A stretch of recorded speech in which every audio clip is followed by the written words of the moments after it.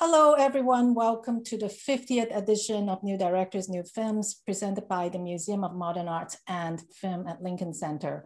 My name is La Frances Hui. I am the festival's co-chair and also a film curator at MoMA.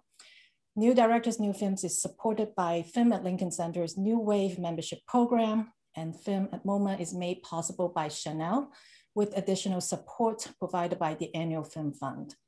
Um, joining me now is the director of radiograph of a family, Firouzeh Khosrovani, who is now in Tehran.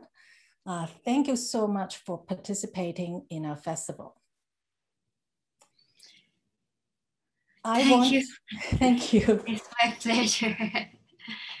and thank you for inviting me, inviting well, my film. Yeah, the committee, the selection committee really likes this film very much. I want to uh, begin by um, talking about family history. Family history is usually not recorded in formal ways. Stories are often conveyed orally and they, they last as long as our memories last. And so in order to make this work, did you do additional research? For example, did you talk to your mother or did you talk to family members and friends? Yeah, this film is piecing together my family history um, of across uh, half a century. Um, yeah, I have talked with my mother uh, during the years of making this film. Um, it is uh, also based on my childhood memories, what I have heard, what I have seen, um, and also, I was trying to find uh, family archives uh, through other members, um, other family members, and my um, yeah, many many other persons gave me the archival Super 8 uh, footages. So I used not just my family's uh, uh, archive, um, I wanted to extend my story to the story of others. So it was um, already meant to this film to use public archive to tell a private story. Hmm. So when we see some home videos and archival footage, like for example, of people gathering in parties and family dinners, those are not necessarily um, directly associated with your parents? No, mm-hmm. because um, this is the portrait of a of a period of time as well. So um, it is um, during the years like 60s, 70s, 80s, and um, I use a part of official archive from televisions. That mm-hmm. is uh, but a big part is home uh, home movies, which are unofficial archives that I like more because I wanted to have this uh, Super 8 uh, images or has a very good texture, yes. uh, very fit to my, to this story.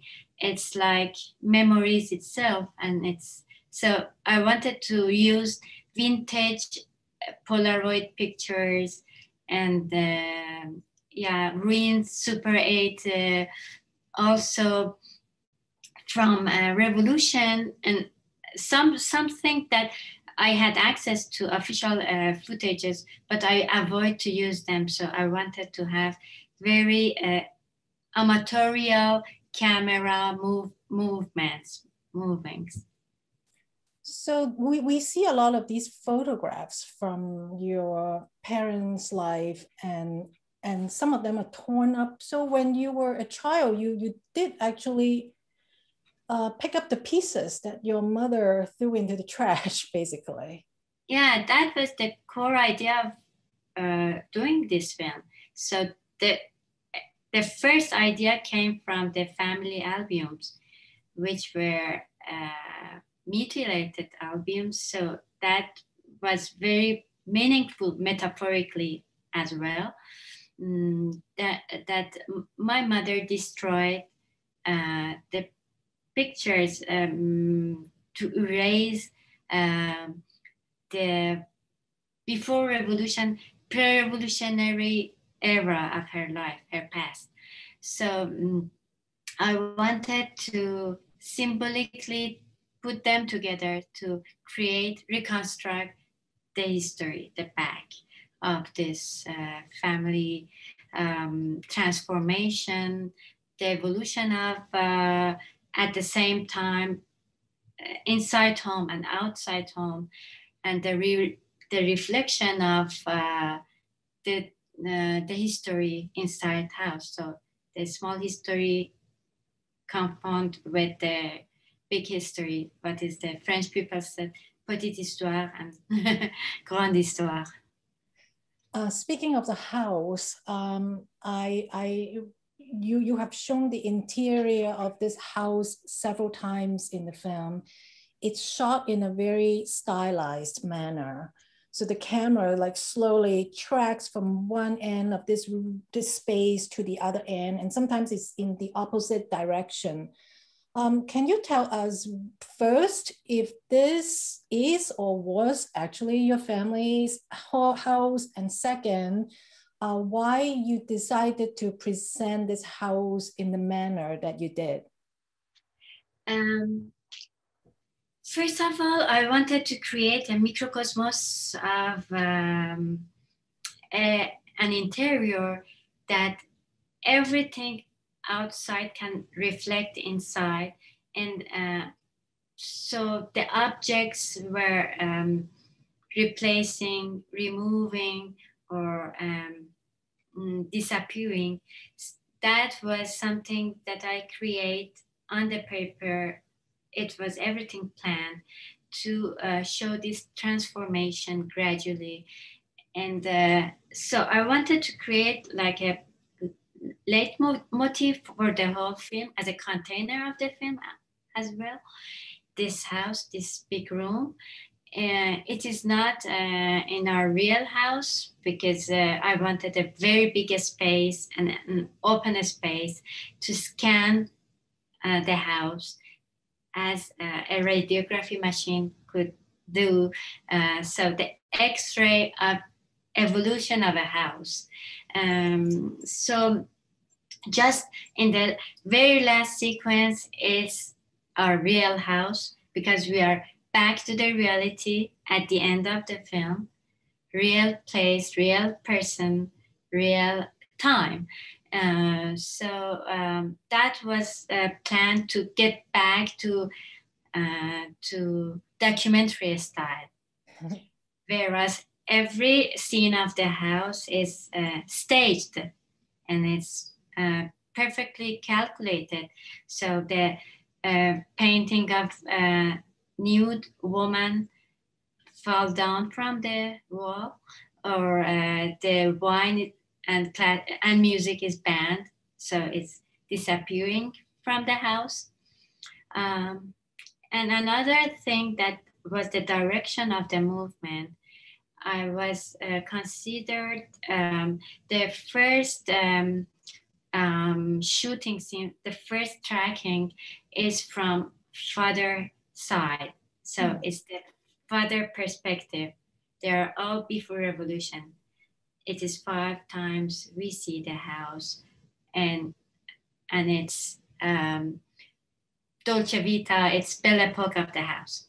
and then uh, after revolution, we see from the mother's uh, part and it's uh, so opposite part. So I divided the house. I'm telling that the revolution took place in our house, like in every Iranian houses. And uh, it, this is the uh, division that the, the house is divided in two. And I'm um, also uh, finding other things dividing in two, like the spine of my mother, uh, and many, many things is dividing. So this is part of the concept hmm. of the film. I didn't realize in the end of the film is your actual house. It looks like the same house. and uh, that's that's really wonderful to know.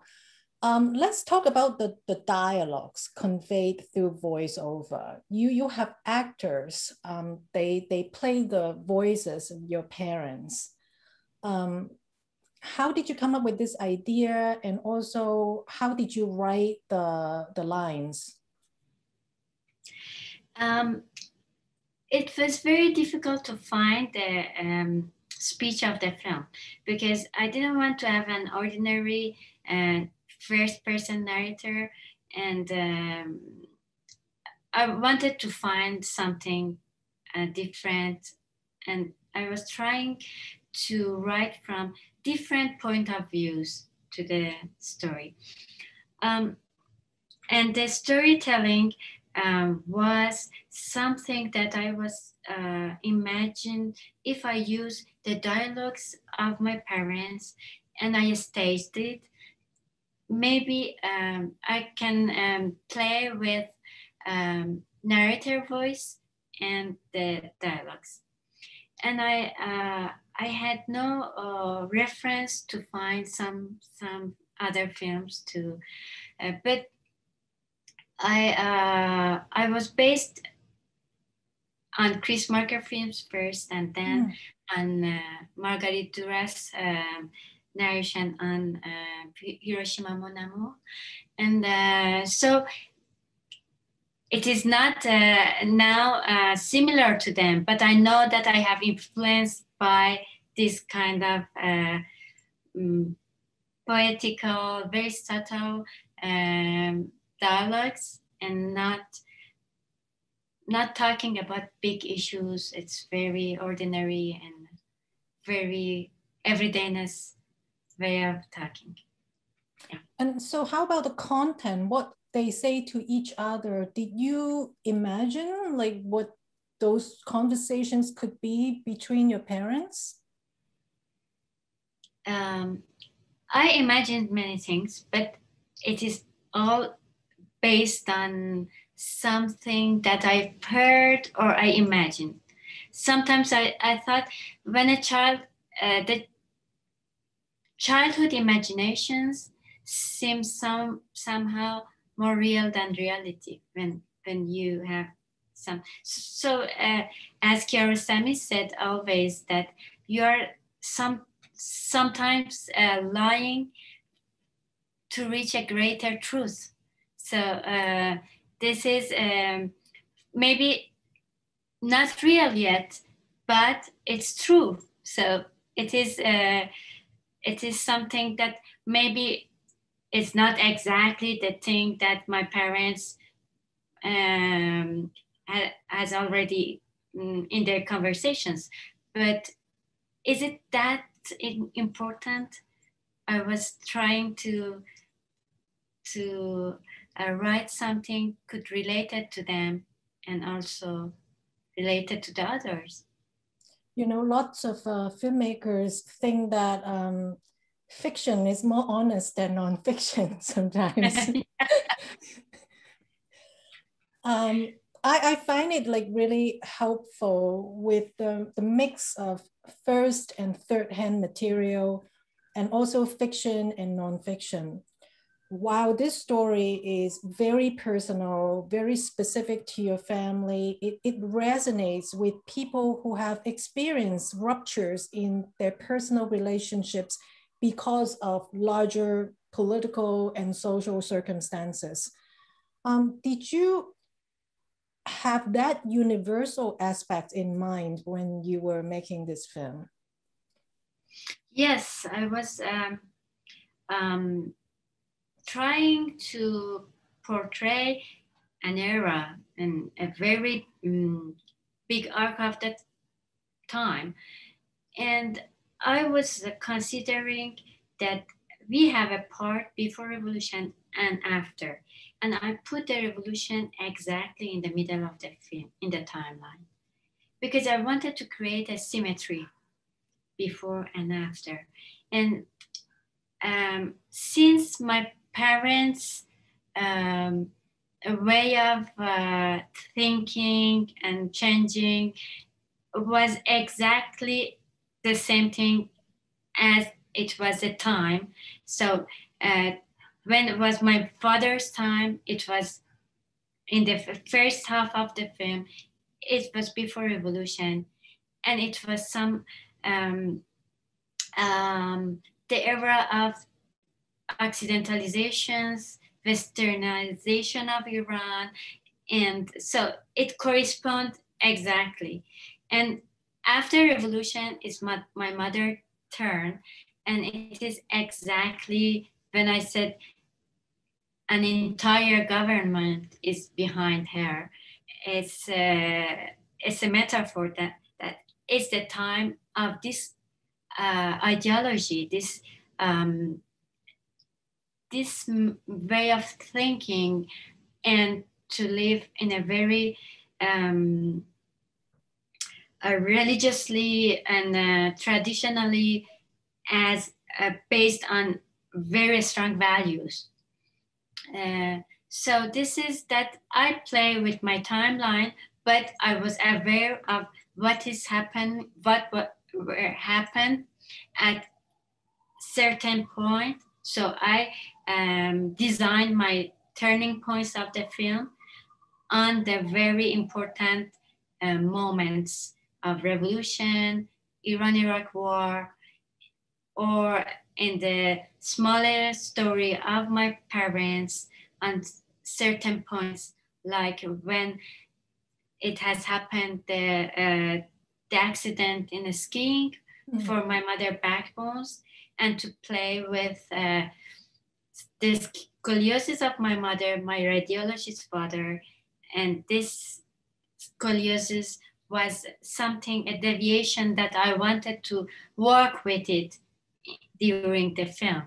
Mm. So uh, there were some uh, patterns that I was uh, trying to repeat and give them significant, give them some um, power of storytelling. Mm. Um, as a child trapped between two parents with very different worldviews, you learn from very early on to not take sides. Um, when you were making this film, were you concerned that the audience would pick a side? It was a very tricky and difficult and very challenging part of the film. Um, when I was um, writing um, the script, the uh, narration and um, dialogues, I was very um, afraid to to not uh, um, not have the balance, not to to lose the balance, and uh, so um, I wanted to that the public could give the uh, right to my mother and to my father to understand mother and why she changed uh, and she became revolutionary. She became more religious.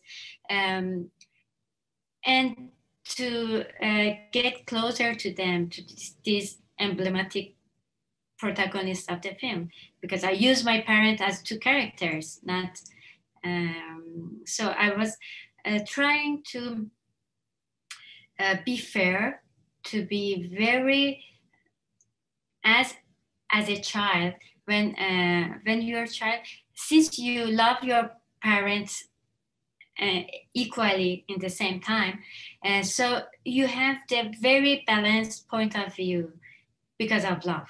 So uh, i choose that the uh, narrator remain in the childhood and she's at the same age for the whole film first I wanted that we lose the notion of the time in certain point of the film, and it's not important when it, is exactly.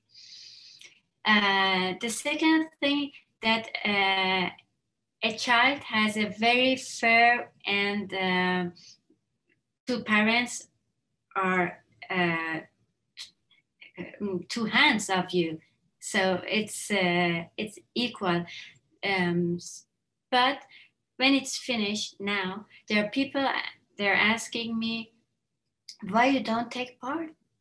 This is not. Uh, you have to have your position. so that's all my uh, attempt, all my effort was to find, to not judge, and uh, to not also leave place to be judged after.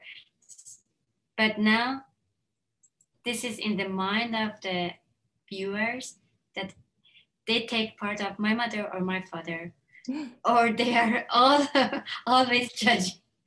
and uh, you know that in Iran, the press is full of this taking part ideologically, or also it's the taking part of the social class, of the many things that I was not uh, thinking during the years of making this film. Um, so you you present your your father and your mother to us without suggesting a preference, understandably. Um, I think before the revolution, your father appears to be the more dominant voice in the marriage. Um, after the revolution, your mother's side literally won the cultural war, right? Um, I find your mother's trajectory particularly interesting. In a patriarchal society, we see this feminist subtext, right? Uh, whether the audience identifies with her choices is one thing, but I think it is actually quite special to see this woman finding her voice, standing strong, and, and living for her beliefs. Yeah, very good uh, thing that you mentioned. Um, yeah, the dominance of my father at home is getting the legitimacy from outside. So if my father is um, a secular father, a very modern and mm, lover of art and music and life, his ideology is uh, enjoy is uh, living in a proper Mm, he was very responsible in his job, but he, at the same time, he liked to have parties, to um, uh, listen music and um, and to have fun. That was that time. And when um, when the mother became revolutionary, the dominance of her ideology, her values, and her um, attitude, and the legitimacy of her activities is getting from outside home. Is the time of this getting back to the values, uh, Islamic values, and mm, so uh, the point that you mentioned that the revolution gave a big role to these women. So the stereotype that revolution was against the women's activities or women's um, um, social and professional identity is not true because a part of women, the religious women, the traditionalist women, uh, find their space in public spaces, in the institutions, and they they um, um, they went out of their homes and they uh, they feel at their ease because of the Islamization of the public spaces. Um, so this is the power of Iranian religious women that today, still today, they are very well educated, they are working, and it's their turn. It is interesting. Um, the film doesn't review your political or religious beliefs and how you chose to live your life and where you went. Um, I don't know whether you feel comfortable telling us um, about yourself and your own trajectory. Um, how did you yeah. end up to be yeah. a filmmaker or doing whatever you do? um, first, uh, this film is an personal personal essay uh, that I was trying to link it to a topical essay that is um, um, what has happened in the history, in the country, in the society. So a reflection and a mirror of the uh, reality that I was trying to to find it in a very small family history, family story. So in a house, so scanning a house, scanning a body, scanning a history, scanning a, a country. Um, but uh, as Truffaut said, uh, that uh, he said, um, "This is for you. It is a, it is just a film. For me, it's all my life. So this this is my lifetime uh, experience of being torn between two poles. This dichotomy inside the house is the same as dichotomy in our society. And it is, um, mm, I did this film, I think at the uh, right uh, time to have enough distance with my past and to be, um, and not to be very sentimentally involved in the film because I need to deal with this past as an artwork.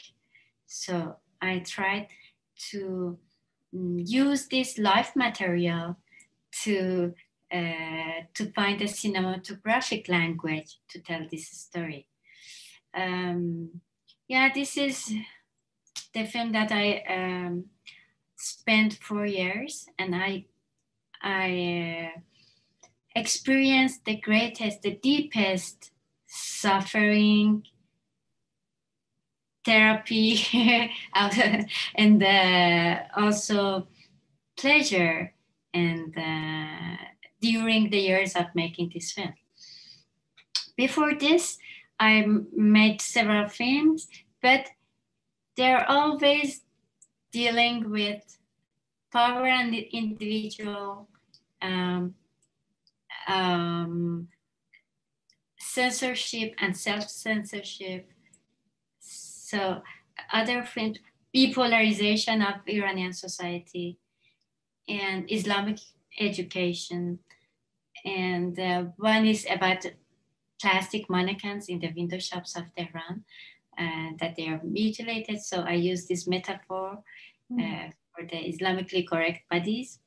Um, so um, I um, I did my studies in Italy I uh, I went to um, Academia uh, of Fine Arts. Then I wanted to get um, after uh, graduation. I wanted to come back to Iran uh, because my my parents and my father was ill at that time, and um, and then uh, also all my ideas uh, come from Iranian reality, Iranian society, and I don't know how what to do elsewhere. All my subjects are here, and uh, Iran is a very interesting, complex, and picturesque reality to to work on it. And uh, I'm happy to stay here and to work here. Yeah. Um,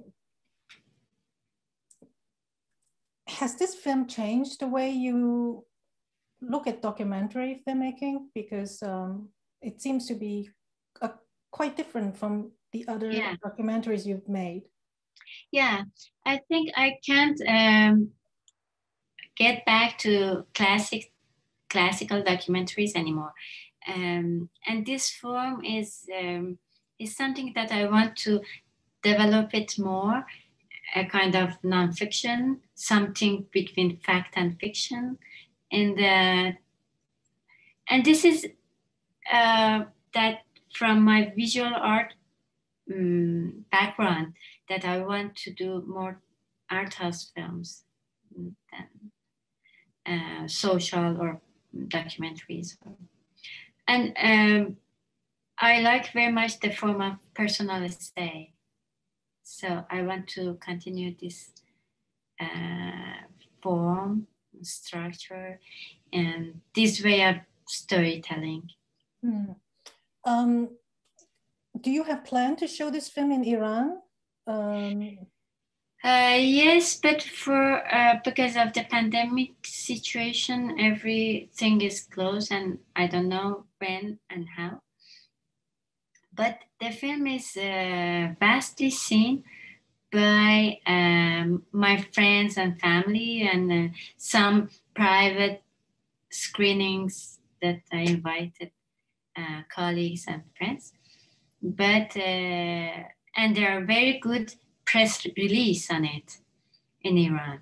Mm. Interviews and um, analysis, and it is uh, they covered very well uh, from the psychologist point of view, sociology, semiology, and aesthetics, and it's it's a very good um, feedback. But I told you, I also received many um, controversial feedbacks on ideological point of view, not aesthetic or, or the, not in a cinematographic language. Mm. It's more something political uh, else. Yes. And what are they? Can you tell us some some of the controversial remarks? uh, that uh, first they um, there are people that they accuse me to not having um, your position. This is ah. who are you? Uh, what is that's something that is very clear in the film.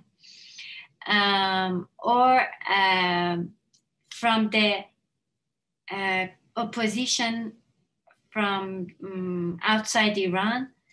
Um, they accused me to uh, recognize and uh, legitimize the Islamic Republic. That is, I'm living in this context. It's, this exists and it is. So, uh, who am I to recognize or so? Uh, and from the other part,